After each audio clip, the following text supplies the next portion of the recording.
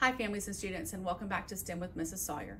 I hope you've had a chance to view the first videos in our series. We have what is STEM, why is it important, and our first challenge, the Bridge Challenge. If you haven't had a chance to watch those, they're all linked on our website and you can look at them at any time. And just a reminder that the challenges can be done in any order that you would like. There is no particular order they have to be done in in order for you to complete them. So today I want to introduce to you our second challenge, the parachute challenge. So when we first start a challenge, we want to think about what is a parachute? What do you think that is? You may have some idea of things that you've seen in TV and movies, but for the purposes of this challenge, a parachute is a device that is created in order to get items from a plane down to the ground safely. It might be a person, it might be some supplies that someone needs, but it, and it's usually made of cloth but some type of device that you can use in order to get an item from the air to the ground. When a parachute is open, it creates drag or wind resistance, and that's what allows it to float down to the ground safely where it's not going too fast or too slow, where the person may be harmed or the item may be damaged on its way down to land. So the first stage in the engineering and design process or the design thinking process, I've sort of combined them here for the purposes of this activity, is empathize. We want to empathize with the needs of the people that what we're creating will serve. So today we're looking at creating a parachute. So think about the people that might need to use that parachute. It might be um, people who are using it for recreation, so it's good for their mental health, right? It makes people feel good when they get to do things that are fun. It might be people in the military or firefighters that are using it in order to get people into an area that might not be easily accessible by car. Or sometimes what is dropped from a, a, plane to get to ground using a parachute is a supply item that again may be harder to get to that area due to land restrictions um, or maybe some natural disaster that's happened in that area. And so we may need to be able to get food or clothing or some other type of supply to the people in that area safely. So think about the people you want to serve with your parachute and think about what their needs might be.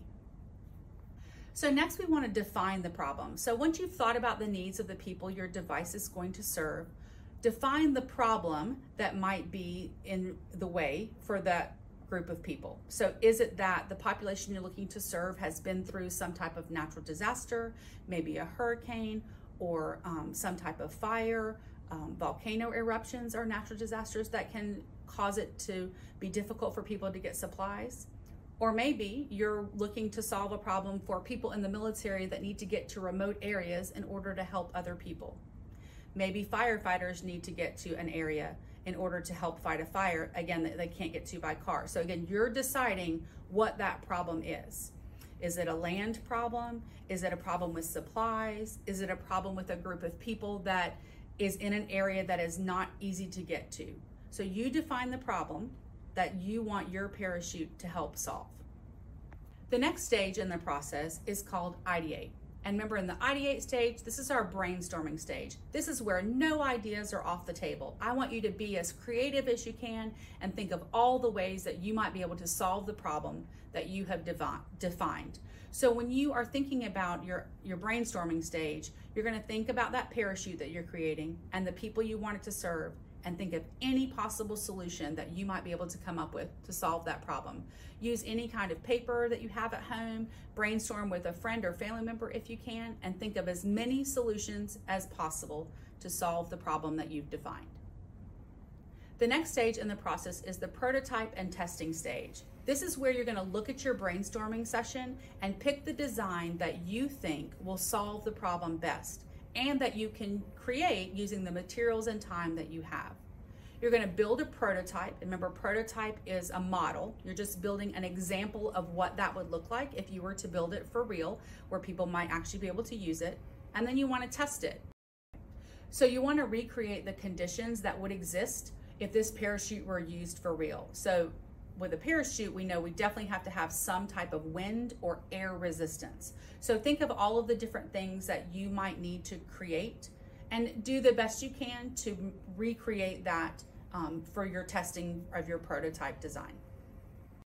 So the next stage is the iterate stage. And as I mentioned in the bridge challenge, my favorite stage of the process. All of them are wonderful, but I really like the iterate stage because to me, this really um, exemplifies what STEM should look like. So with the iterate stage, you're gonna look back at that prototype and the testing that you did, and you're gonna see what went well and what didn't go well, and what can you do to improve upon your design. Maybe it didn't work at all and you need to completely go back to the drawing board and rethink your prototype. If that's so, then do that. Maybe you just need to change one part of it in order to make your parachute more successful. So again, you want to go back and iterate just means to repeat as many times as you need to. Repeat it over and over again if needed until you are able to improve upon that design. Once you've done the iterate stage, I want you to see, can you take it further? Once you have a successful parachute, can you make that parachute hold more weight? Can you make it go further than the original parachute did? What can you do to challenge yourself to take that parachute, parachute design one more step? The last stage in the engineering and design process or the design thinking process that I want you to work through is the share stage. This is where you share your design with others. It can be a sibling, it can be a grown up in your household, um, just someone around you that you can kind of talk through the process, what went well, what didn't go well, and talk to them about the, the prototype that you designed and how your testing stage went. This is a really important stage of STEM and definitely should not be skipped.